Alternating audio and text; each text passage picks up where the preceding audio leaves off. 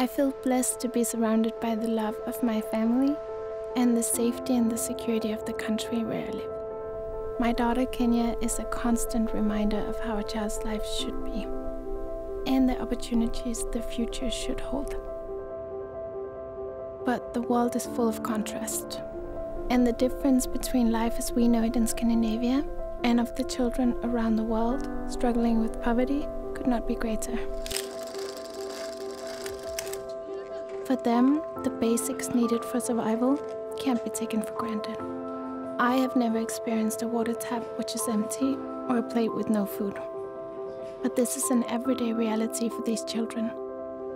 And getting to know their reality opened my eyes and my heart. Meeting these children taught me to be grateful for every second in my life and inspired me to use my time to help whenever possible.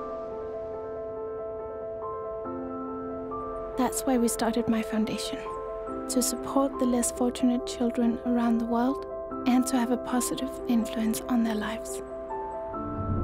For every purchase of a Nordgreen by Mathilde watch, we will donate one month of clean drinking water to a child in a children's village in Kenya.